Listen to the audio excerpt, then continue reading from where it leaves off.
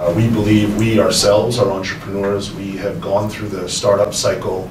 We know the challenges that startups in Asia, um, startups in Singapore go through. Um, And we feel that we have put together a platform that not only gives you best-in-class content as, as shown earlier, but also the online community to allow businesses to develop and grow. We also need more entrepreneurs. And I think by learning how we do things, uh, you know, learning from mistakes, there are lots of mistakes in this show. I think bad presentations, uh, misrepresentations. Mistakes from the entrepreneurs. Yeah, yeah, from the entrepreneurs, right? And some of that we catch, some we just we don't catch. But I think in the end, it will make entrepreneurs better prepared, you know, to meet investors like us.